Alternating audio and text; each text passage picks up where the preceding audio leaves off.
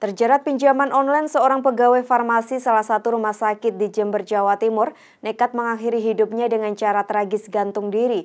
Aksi nekat tersebut diduga karena malu dengan cara penagihan pinjaman online.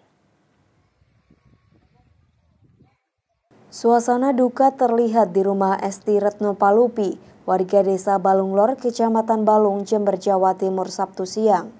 Keluarga dan tetangga bersiap menggelar upacara pemakaman jenazah wanita muda berusia 23 tahun di tempat pemakaman yang tak jauh dari rumahnya. Korban merupakan staf farmasi di salah satu rumah sakit milik pemerintah, ditemukan tak bernyawa di rumahnya pada Jumat kemarin dengan cara gantung diri.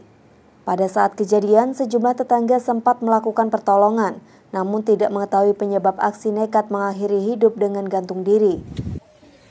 Kalau kejadian persis saya kurang pati paham mas. Uh -uh. Soalnya saya dengar minta tolong, saya lari langsung. Lari ke banyak orang.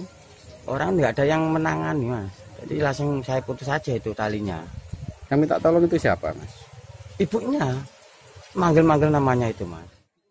Hasil pemeriksaan awal diduga korban nekat bunuh diri karena terjerat hutang pinjaman online.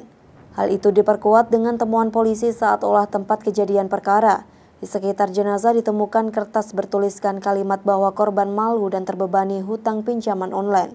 Dari telepon seluler miliknya, polisi menemukan beberapa aplikasi pinjaman online.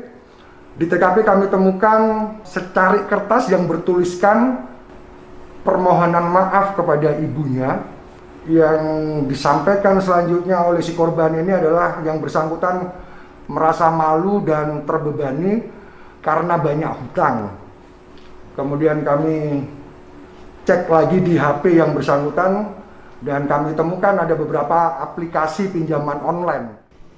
Polisi meminta keterangan keluarga untuk tindak lanjut kasus ini dan berkoordinasi dengan otoritas jasa keuangan OJK Jember untuk mendalami legalitas penyedia jasa pinjaman online tersebut.